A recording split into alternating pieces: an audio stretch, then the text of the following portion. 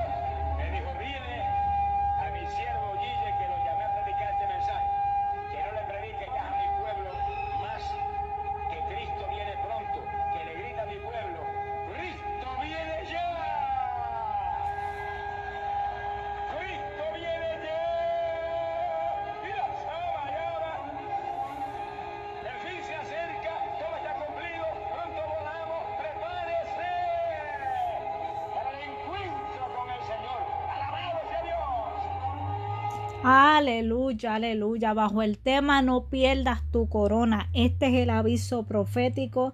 Despierta tú que duermes. Hay gente que está durmiendo y no entiende el tiempo profético que estamos viviendo. Dios está sanando, Dios está haciendo cosas grandes, pero también vienen los juicios más terribles de la tierra antes del arrebatamiento y Cristo está a la puerta, hermano. No pierdas tu corona. Así que la palabra es poderosa. Es tiempo de despertar. Aleluya. Aleluya. Gloria a Dios. Aleluya. No pierdas tu corona. Aleluya. No pierdas tu corona, bendito Dios. Aleluya.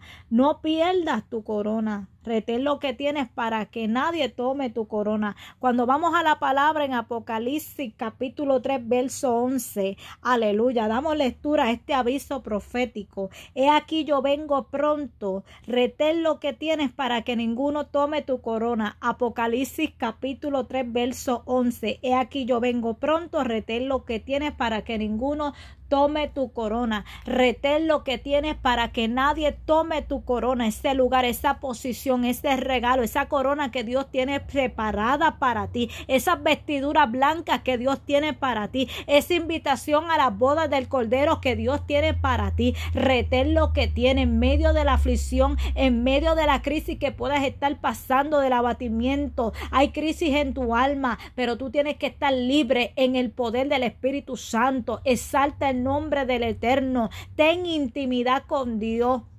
Sigue avanzando y no te detenga. Dios te va a librar de tus enemigos. La oración es poderosa y el alma vital. La oración, la palabra y el ayuno. Fortalécete en el poder del Señor, el poder de su fuerza. Mientras más tú te llenas de la presencia de Dios, y mientras más tú te sigues ensanchando, tienes que provocar a Dios en tu vida y vas a ver la respuesta de Dios. Dios te va a respaldar, Dios te va a dar experiencia maravillosa, Él va a ministrar a tu vida, Él va a hablar a tu vida y Cristo viene, ya es un tiempo profético, aunque nos persigan, aunque nos calumnien, aunque nos digan locos, tenemos que proseguir anunciando este evento profético que está en las sagradas escrituras. Tienes que seguir gozando del gozo de la salvación cuando no hay nada, cuando no se intimida con Dios lo que es mortandad, cuando atravesamos obstáculos, nada nos puede detener. Sabemos que en este mundo íbamos a tener aflicciones. Yeshua, Jesús nos avisó, en el mundo tendré aflicciones, pero confía, yo he vencido. La palabra lo estipula claramente y sabemos que el Señor escogió a su Hijo y que nosotros vamos a conquistar esa tierra prometida, lo que Él habló, pero pero hay una victoria que tenemos que luchar, pero hay que pelear esta salvación. Hay momentos que debemos ignorar lo que estamos pasando y enfocarnos más en lo que Dios habló en sus promesas. Hay una corona de vida que tenemos que luchar y hay que quitar las excusas y no perder esa corona, esa salvación tan grande, esa oportunidad de verlo cara a cara. Y el secreto es buscarle a tiempo y afuera de tiempo y limpiar vuestros corazones, vuestra alma, todo vuestro alma, cuerpo y espíritu limpio de mano y puro de corazón. Ese le verá por cuanto nos alegramos en la salvación de nuestro amado. El amado es mío, yo soy de mi amado. Cuando tú confías en el Señor, cuando tú entiendes las promesas por encima del burlador, es necesario que seamos persistentes. Es necesario que busquemos a Dios a tiempo, afuera de tiempo. Es necesario ser persistente en la búsqueda, en la relación con el amado. Vamos a pedirle al Señor que nos rompa ante todo, que nos haga vasijas de honra, que podamos serle fieles. Hay gente que está desechando esta palabra, pero fíjate lo que dice Apocalipsis capítulo 3, verso 11, porque este es el tema de este aviso. No pierdas tu tu corona. He aquí yo vengo pronto. Retén lo que tienes para que ninguno tome tu corona.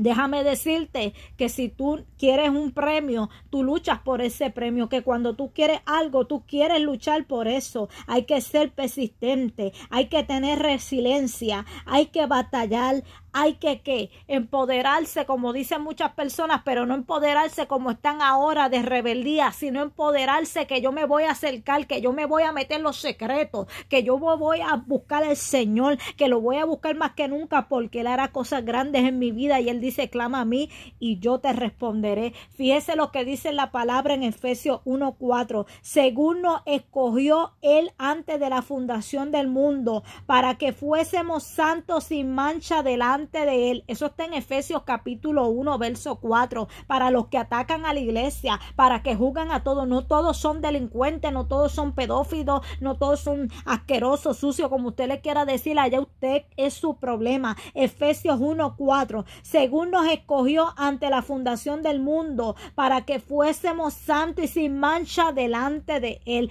Eso es lo que el Señor quiere. Por eso es necesario retener. Por eso es necesario que no perdamos esta corona, esta salvación tan grande que le costó, que le costó a Yeshua en el madero, sangre, sacrificio vivo por amor a nosotros. No podemos tener la sangre de Cristo por inmunda cuando le damos la espalda a Dios, cuando desechamos su palabra. Eso es lo que estamos haciendo. Estamos deshonrando, estamos teniéndolo por poco y es necesario que se busque a Dios.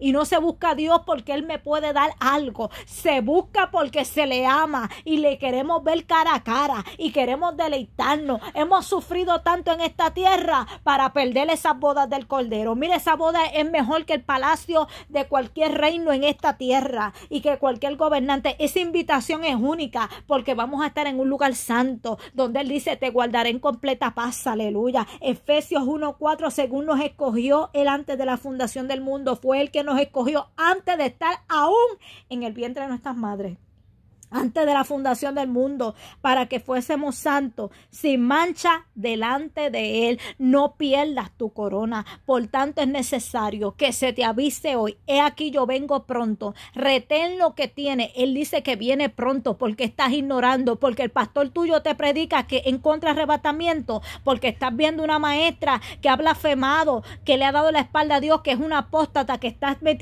en ocultismo muchas veces, gente que se está metiendo en diferentes cosas porque han negado, porque están rebeldes, porque tienen raíces de amargura. He aquí yo vengo pronto, retén lo que tienes para que ninguno tome tu corona, que Dios bregue con cada alma, que Dios trabaje con cada vida, pero tú lucha por tu corona. No dejes que nadie tenga y agarre lo que te pertenece a ti. Tu corona es tuya. No pierdas tu corona. No pierdas tu salvación. Este es el mensaje aviso profético. No pierdas tu corona. Si el pastor no te predica del arrebatamiento, escucha que la palabra dice, he aquí vengo pronto. Retén lo que tienes para que nadie tome tu corona. Apocalipsis 3:11. Ahí tienes la palabra. Y Efesios 1:4. Según nos escogió antes de la fundación del mundo para que fuésemos santos, sin mancha delante de Él. Tú vas a decidir cómo te vas a conducir. Tú vas a decidir a quién tú vas a escuchar.